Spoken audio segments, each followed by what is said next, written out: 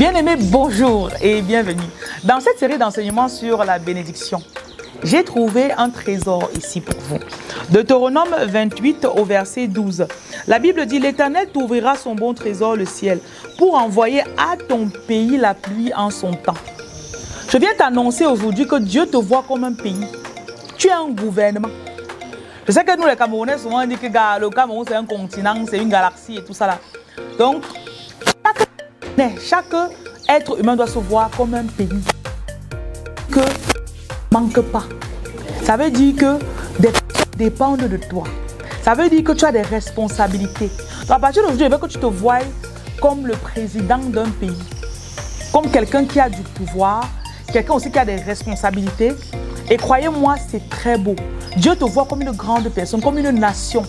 Et en même temps aussi, de toi sortira une nation. Parce que quand il a béni Abraham, il lui a dit, de toi sortira une nation. Peut-être tu as un enfant, peut-être tu as deux enfants. Demain, ces enfants-là vont accoucher d'autres enfants. Et sur trois, quatre générations, tu vas te retrouver avec 500 euh, enfants. On ne sait jamais. Peut-être vous avez accouché 12, enfants comme M. Abbé Solo. On ne sait jamais. Mais vous comprenez un peu ce que je veux dire. Voyez-vous comme une personne qui a une multitude qui sort d'elle ou de lui? Responsabilisez vos pensées. OK?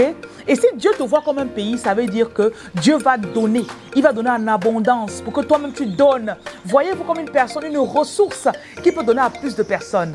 C'est ainsi qu'on se voit comme une bénédiction. Donc recevez la capacité de vous voir plus grand que ce que vous voyez actuellement. Soyez bénis.